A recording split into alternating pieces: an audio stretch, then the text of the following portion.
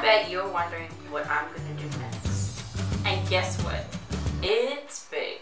Oh yeah, it's big alright. Indie Vybez. October 4th, 2015. Check myself and Bey Chaino. Yeah! Coming at you live from venues all around Nassau, Bahamas to bring to you the best music videos, artists, talent either. So, do you want to know how big it is? Check us in the description below for more.